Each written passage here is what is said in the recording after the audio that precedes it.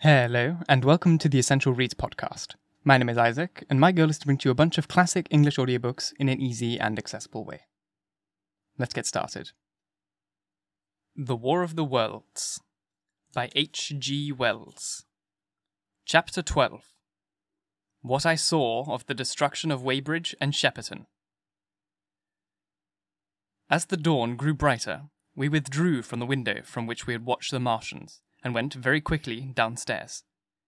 The artilleryman agreed with me that the house was no place to stay in. He proposed, he said, to make his way Londonward and thence rejoin his battery, number 12 of the Horse Artillery. My plan was to return at once to Leatherhead.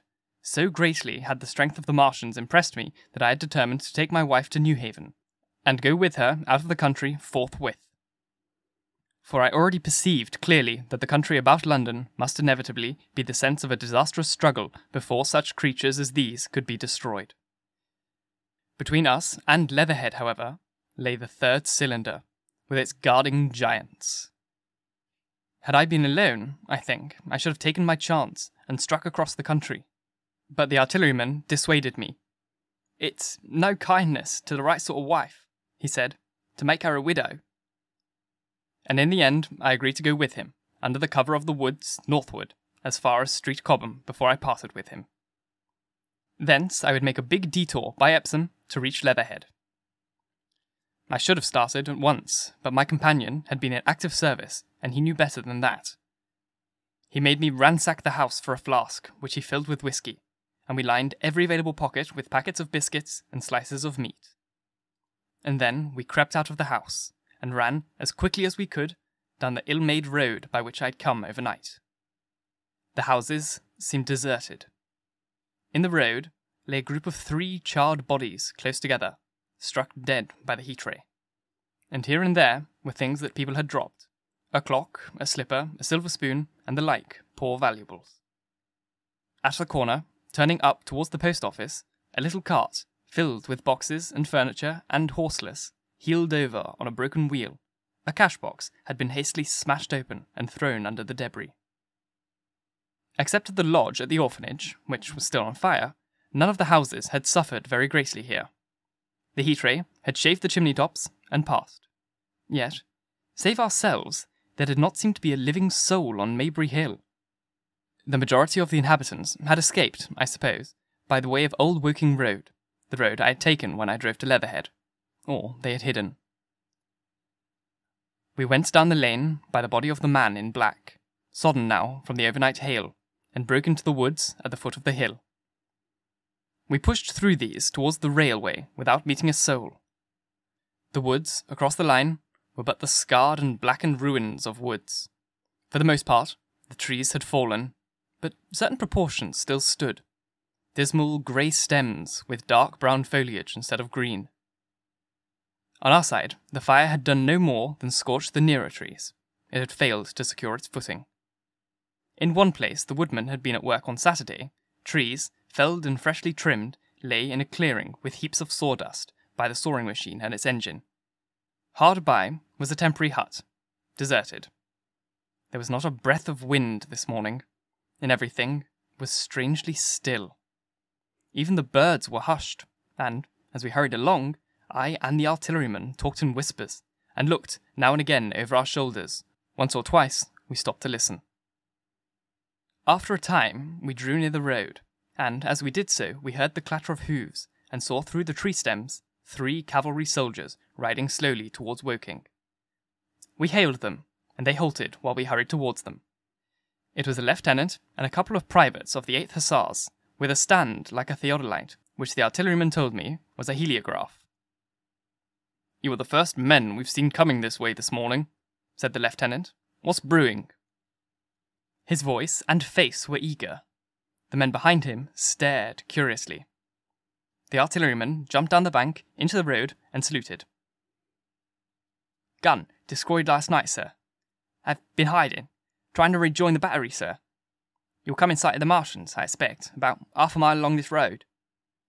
What the dickens are they like? asked the lieutenant. Giants in armour, sir. Hundred feet high. Three legs and a body like aluminum, with mighty great head in a hood, sir. Get out, said the lieutenant. What confounded nonsense! You'll see, sir, they carry a kind of box, sir, that shoots fire and strikes you dead. What do you mean? A gun? No, sir. And the artilleryman began a vivid account of the heat ray. Halfway through, the lieutenant interrupted him and looked at me. I was still standing on the bank by the side of the road. It's perfectly true, I said. Well, said the lieutenant, I suppose it's my business to see it too. Look here, said the artilleryman. We're detailed here, clearing people out of their houses. You better go along and report yourself to Brigadier General Marvin, and tell him all you know. He's at Weybridge. Know the way? I do, I said, and he turned his horse southward again. Half a mile, you say? said he. At most, I answered, and pointed over the tree tops southward. He thanked me and rode on, and we saw them no more. Further along, we came upon a group of three women and two children in the road, busy clearing out a labourer's cottage. They had got hold of a little hand truck and were piling it up with unclean looking bundles and shabby furniture. They were all too assiduously engaged to talk to us as we passed. By Byfleet Station, we emerged from the pine trees and found the country calm and peaceful under the morning sunlight. We were far beyond the range of the heat ray there, and had it not been for the silent desertion of some of the houses, the stirring movement of packing in others, and the knot of soldiers standing on the bridge over the railway and staring down the line towards Woking, that day would have seemed like any other Sunday. Several farm wagons and carts were moving creakily along the road to Addlestone, and suddenly, through the gate of a field, we saw, across a stretch of flat meadow, six twelve pounders standing neatly at equal distances, pointing towards Woking. The gunners stood by the guns, waiting, and the ammunition wagons were at a business-like distance. The men stood almost as if under inspection. That's good, I said. They would get one fair shot at any rate. The artilleryman hesitated at the gate. I shall go on, he said. Farther on, towards Weybridge, just over the bridge, there was a number of men in white fatigue jackets, throwing up a long rampart and more guns behind. It's bows and arrows against lightning, anyhow, said the artilleryman. They haven't seen that fire beam yet. The officers, who were not actively engaged, stood and stared over the treetops southwestward, and the men digging would stop every now and again to stare in the same direction. Byfleet was in a tumult. People packing, and a score of hussars, some of them dismounted, some on horseback, were hunting them about. Three or four black government wagons with crosses in white circles and an old omnibus, among other vehicles, were being loaded in the village street. There were scores of people, most of them sufficiently sabbatical to have assumed their best clothes. The soldiers were having the greatest difficulty in making them realize the gravity of their position. We saw one shriveled old fellow with a huge box and a score or more of flower pots containing orchids, angrily expostulating with the corporal who would leave them behind. I stopped and gripped his arm. Do you know what's over there? I said, pointing at the pine tops that hid the Martians. Eh? I was explaining these is valuable. Death, I shouted. Death is coming! Death! And, leaving him to digest that if he could, I hurried on after the artilleryman. At the corner, I looked back. The soldier had left him, and he was still standing by his box with the pot of orchids on the lid of it, and staring vaguely over the trees. No one in Weybridge could tell us where the headquarters were established. The whole town was in such confusion as I had never seen in any town before. Carts, carriages everywhere. The most astonishing miscellany of conveyances and horseflesh. The respectable inhabitants of the place, men in golf and boating costumes, Wives, prettily dressed, were packing. Riverside loafers, energetically helping, children, excited, and, for the most part, highly delighted at this astonishing variation of their Sunday experiences.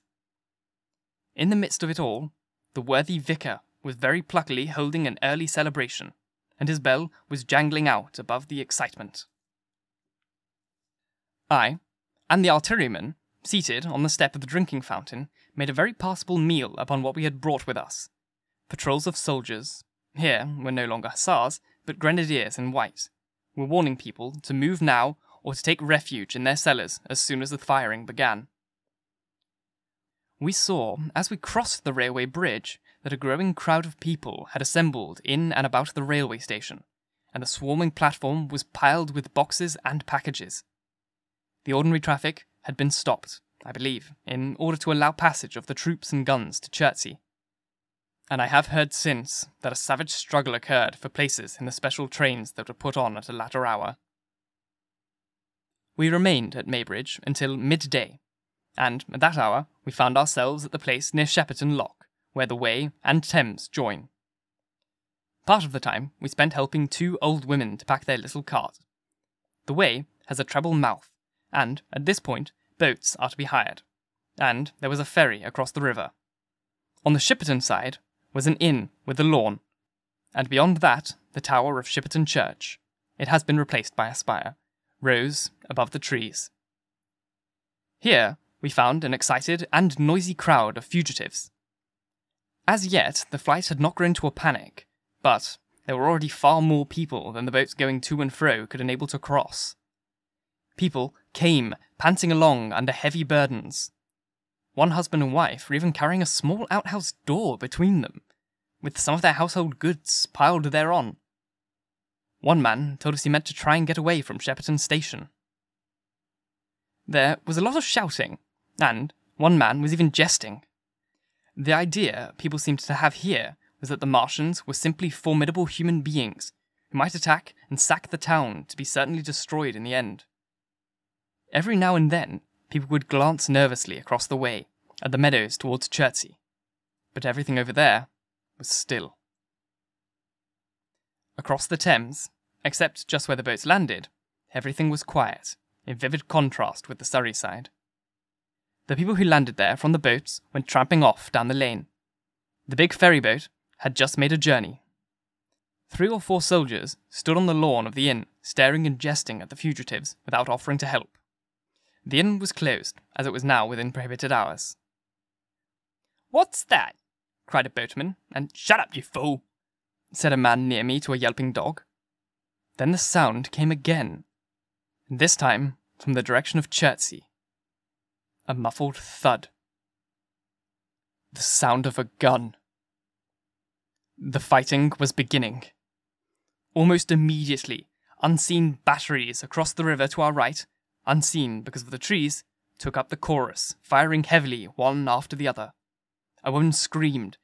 Everyone stood, arrested by the sudden stir of battle, near us, and yet invisible to us.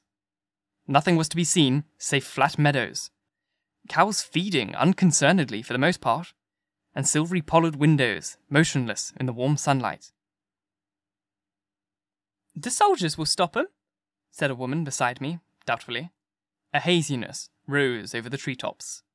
Then, suddenly, we saw a rush of smoke far away up the river, a puff of smoke that jerked up into the air and hung, and forthwith the ground heaved underfoot, and a heavy explosion shook the air, smashing two or three windows in the houses near, and leaving us astonished. Here they are, shouted a man in a blue jersey. Yonder! D'ye see 'em? Yonder! Quickly, one after the other, one, two, three, four of the armored Martians appeared, far away over little trees across the flat meadows that stretched towards Chertsey, and striding hurriedly towards the river. Little cowled figures they seemed at first, going with a rolling motion and as fast as flying birds. Then, advancing obliquely towards us, came a fifth. Their armoured bodies glittered in the sun as they swept swiftly forwards upon the guns growing rapidly larger as they drew nearer. One, on the extreme left, the remotest, that is, flourished a huge case high in the air, and the ghostly, terrible heat ray I had already seen on the Friday smote towards Chertsey and struck the town.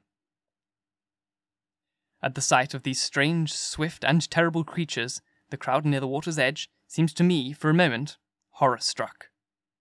There was no screaming or shouting, but a silence. Then a hoarse murmur, and a movement of feet, a splashing from the water. A man, too frightened to drop the portmanteau he carried on his shoulder, swung round and sent me staggering with a blow from the corner of his burden. A woman thrust at me with her hand and rushed past me. I turned with the rush of the people, but I was not too terrified for thought. The terrible heat ray was in my mind. To get under water. That was it! Get under water! I shouted unheeded. I faced about again and rushed towards the approaching Martian, rushed right down the gravelly beach and headlong into the water. Others did the same. A boatload of people, putting back, came leaping out as I rushed past. The stones under my feet were muddy and slippery, and the river was so low that I ran perhaps twenty feet, scarcely waist deep. Then, as the Martian towered overhead, scarcely a couple of hundred yards away, I flung myself forward under the surface. The splashes of the people in the boats leaping into the river sounded like thunderclaps in my ears. People were landing hastily on both sides of the river, but the Martian machine took no more notice for the movement of the people running this way and that than a man would for the confusion of ants in a nest against which his foot had kicked. When, half suffocated, I raised my head above the water, the Martian's hood pointed at the batteries that were still firing across the river, and, as it advanced, it swung loose what must have been the generator of the heat ray. In another moment, it was on the bank, and, in a stride, wading halfway across. The knees of its foremost leg bent at the further bank, and in another movement it had raised itself to its full height again, close to the village of Shepperton. Forthwith, the six guns, which, unknown to anyone on the right bank, had been hidden behind the outskirts of that village, fired simultaneously. The sudden near concussion, the last close upon the first, made my heart jump. The monster was already raising the case, generating the heat, as the first shell bell burst six yards above the hood. I gave a cry of astonishment, I saw, and thought of nothing other than the four Martian monsters. My attention was riveted upon the near incident. Simultaneously, two other shells burst in the air near the body as the hood twisted round in time to receive, but not in time to dodge the fourth shell. The shell burst clean in the face of the thing. The hood bulged, flashed, was whirled off in a dozen tattered fragments of red flesh and glittering metal. Hit! shouted I, with something between a scream and a cheer. I heard answering shouts from people in the water about me. I could have leapt out of the water with that momentary exultation. The decapitated colossus reeled like a drunken giant, but it did not fall over. It recovered its balance by a miracle, and, no longer heeding its steps with the camera that fired the heat ray now rigidly upheld, it reeled swiftly upon Shepperton the living intelligence. The Martian within the hood was slain and splashed to the four winds of heaven.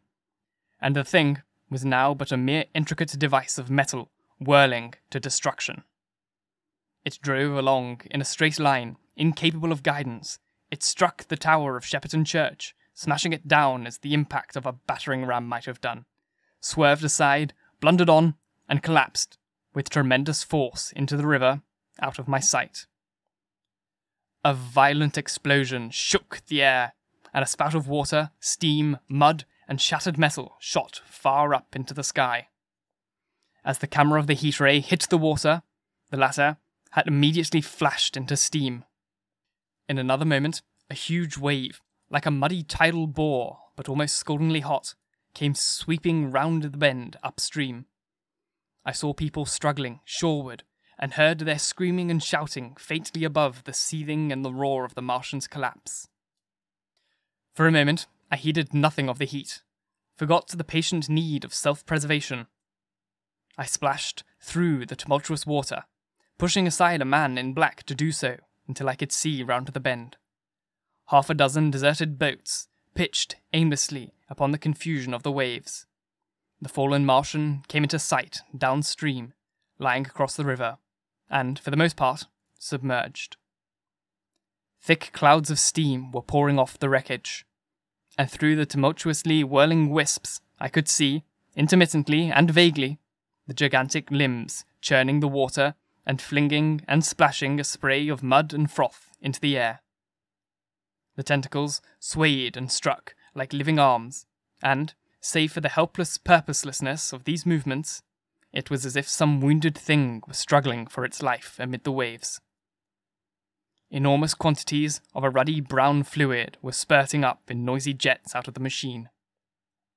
My attention was diverted from this death flurry by a furious yelling like that of the thing called a siren in our manufacturing towns. A man, knee deep near the towering path, shouted inaudibly to me and pointed. Looking back, I saw the other Martians advancing with gigantic strides down the riverbank from the direction of Chertsey. The Shepperton guns spoke, this time unavailing. At that time, I ducked at once under water, and, holding my breath until movement was agony, blundered painfully ahead under the surface as long as I could. The water was in a tumult about me, and rapidly growing hotter. When, for a moment, I raised my head to take breath and throw the hair and water from my eyes, the steam was rising in a whirling white fog that at first hid the Martians altogether. The noise was deafening. Then I saw them dimly, colossal figures of grey, magnified in the mist. They had passed me, and two were stooping over the frothing, tumultuous ruins of their comrade. The third and fourth stood beside him in the water, one perhaps 200 yards from me, the other towards Laleham. The generators of the heat rays waved high, and the hissing beams smote down this way and that. The air was full of sound, a deafening and confusing conflict of noises, the clangorous din of the Martians, the crash of falling houses, the thud of trees, fences, sheds flashing into flame, and the crackling and roaring of fire. Dense black smoke was leaping up to mingle with the steam of the river, and as the heat ray went to and fro over Weybridge, its impact was marked by flashes of incandescent white that gave place at once to a smoky dance of lurid flames. The nearer houses still stood intact, awaiting their fate, shadowy, faint, and pallid in the steam, with the fire behind them going to and fro. For a moment, perhaps, I stood there, breast high, in the almost boiling water, dumbfounded at my position, hopeless of escape. Through the reek, I could see the people who had been with me in the river scrambling out of the water through the reeds like little frogs hurrying through grass from the advance of man, or running to and fro in utter dismay on the towing path. Then suddenly, the white flashes of the heat ray came leaping towards me. The houses caved in as they dissolved at its touch and darted out flames. The trees changed to fire with a roar. The ray flickered up and down the towing path, licking off people who ran this way and that, and came down to the water's edge not fifty yards from where I stood. It swept across the river to Shepperton, and the water in its track rose in a boiling wheel, crested with steam. I turned shoreward. In another moment, the huge wave, well nigh at the boiling point, had rushed upon me. I screamed aloud, and scolded, half blinded, agonized. I staggered through the leaping, hissing water towards the shore. Had my foot stumbled, it would have been the end. I fell, helplessly, in full sight of the Martians, upon the broad, bare, gravelly split that runs down to mark the angle of the Wey and Thames. I expected nothing but death. I have a dim memory of a Martian coming down within a score of yards of my head, driving straight into the loose gravel, whirling it this way and that, and lifting again, of a long suspense, and then of the four carrying the debris of their comrade between them. Now clear, and then presently faint through a veil of smoke, receding interminably, as it seemed to me, across a vast space of river and meadow. And then, very slowly, I realized that by a miracle, I had escaped. Thank you so very much for listening. If you enjoyed, please like, comment, share, all that jazz. And if you really enjoyed, do subscribe because there's more to come. And if you're listening on podcast, please leave a review, follow the podcast, share it with your friends, do all those things. It really helps um, in general get the podcast in front of more people. And it really makes my day to see all of these great analytics coming through. It would make me really, really happy if you were to do so. This is the second time I'm recording that chapter. I lost a bunch of footage and it uh, it hurt quite a bit. It was really it was really painful to have to do that again. Uh, it's a long one, so I really hope you enjoyed. Once again, thank you for listening, and until next time, bye bye.